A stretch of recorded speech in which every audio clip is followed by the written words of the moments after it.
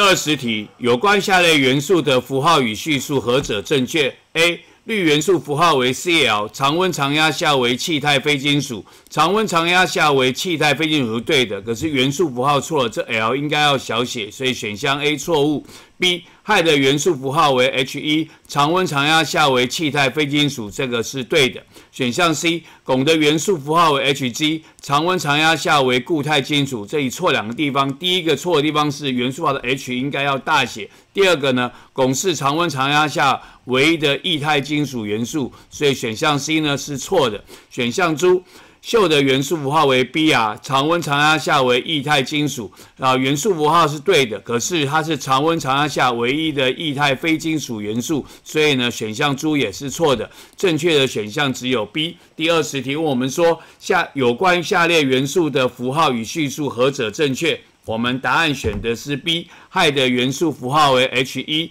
常温常压下为气态非金属。